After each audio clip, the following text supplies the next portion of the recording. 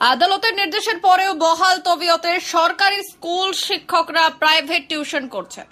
সেই নিয়েই এবার জেলা স্কুল পরিদর্শকের কাছে স্মারকলিপি দিল পশ্চিমবঙ্গ গৃহ শিক্ষক কল্যাণ সমিতির সদস্যরা।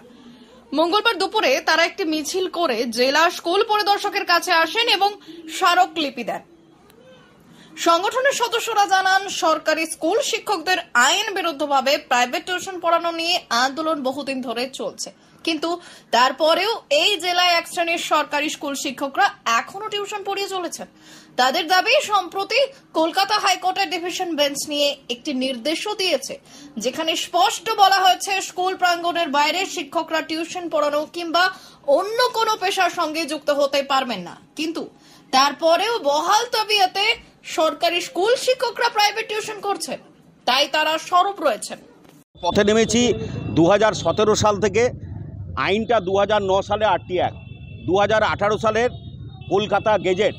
তারপরে আমাদের এই মে মাসেই দু তারিখ কি তিন তারিখ আমাদের মহামান্য হাইকোর্ট ডিভিশন বেঞ্চ নির্দেশ দিয়েছে স্কুল প্রেমিসেসের বাইরে কোনো শিক্ষক প্রাইভেট টিউশন কোনো পেশার সঙ্গে যুক্ত থাকতে পারবে না। এ নিয়ে আমরা ছ তারিখে গেছিলাম ব্রাত্য বসু শিক্ষামন্ত্রীর কাছে, মাননীয় শিক্ষামন্ত্রীর কাছে।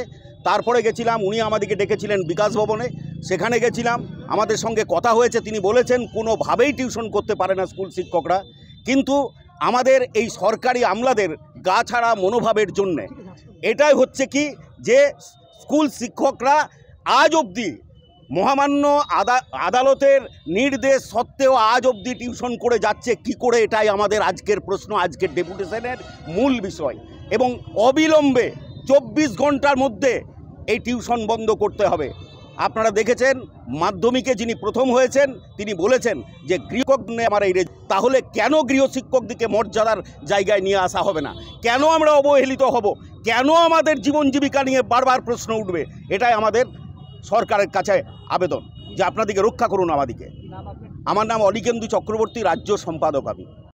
আমরা পশ্চিমবঙ্গ গৃহশিক্ষক কল্যাণ সমিতির বীরভূম জেলার কমিটি এবং দীর্ঘদিনের আমাদের যে দাবি, সেটা হচ্ছে স্কুল শিক্ষকদের গৃহশিক্ষকতা বন্ধ করতে হবে এবং শিক্ষার মানোন্নয়ন বজায় রাখতে হবে এবং আমাদের যে পেশা আমাদের যে শিক্ষকতা পেশা, সেই পেশাটা শুধু আমাদেরকেই করতে দিতে হবে এবং আমাদের এই পেশায় আমরা কাউরির অনুপ্রবেশ মানছি না, মানব না। এটাই মূলত দাবি এবং আমরা পাঁচ বছর ধরে, পাঁচ বছর ধরে, দীর্ঘদিন ধরে আমরা কিন্তু ডিআইকে বারবার ডেপুটেশন দিয়েছি, স্কুলে স্কুলে হেডমাস্টারদেরকে দিয়েছি, অথচ তারা কিন্তু কোনো স্টেপ নেননি।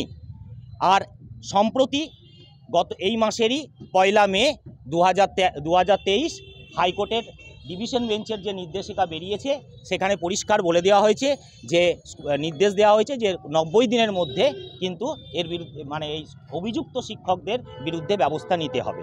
তাই আজকে আমরা অভিযুক্ত শিক্ষকদের তালিকা সহ ডিআইকে আমরা ডেপুটেশন দিচ্ছি এই পথসভার মাঝখানে মাঝখানে। কতজন আছেন আপনারা আমরা প্রায় আজকে পথসভাতে দেড়শো জনের মতো আছি।